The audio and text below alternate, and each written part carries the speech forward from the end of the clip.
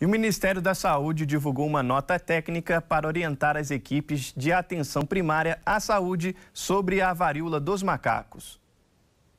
O documento do Ministério da Saúde sobre a monkeypox informa sobre as características clínicas da doença, procedimentos a serem adotados na triagem e os tratamentos adequados.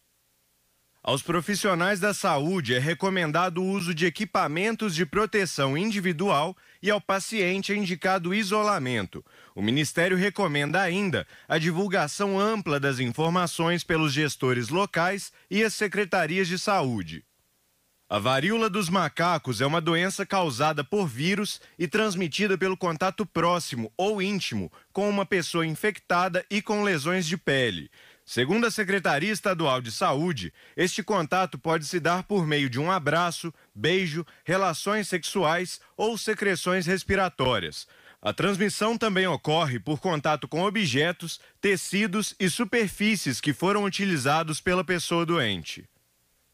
Para a varíola dos macacos não existe tratamento específico, mas de forma geral, os quadros clínicos são leves e requerem cuidados e observação das lesões. O maior risco de agravamento acontece em geral para pessoas imunossuprimidas com HIV, leucemia, linfoma, metástase, transplantados ou pessoas com doenças autoimunes, além de gestantes, lactantes e crianças com menos de 8 anos de idade.